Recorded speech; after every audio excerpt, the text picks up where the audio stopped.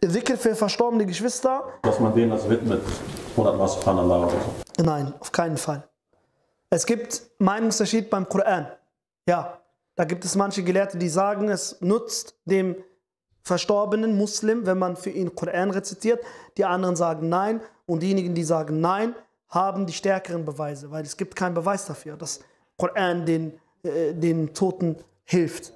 Und bei solchen Themen brauchen wir Klare Beweise aus dem Koran und der Sunna. Aber was dem Toten hilft, ist was? Dua. Yani, wieso sehen wir das, die Dua als klein? Die Leute sagen, ja, warum kann ich nicht Dhikr machen? Dua, warum machst du keine Dua? Genauso die Spende. Warum sehen wir die Spende als klein? Mach eine Spende für deinen Vater. Yani, bau einen Brunnen am besten, eine fortlaufende Spende, eine Moschee. Eine warum nicht? Damit hilfst du, inshallah, deinem Vater, während er im Grab ist. Ja,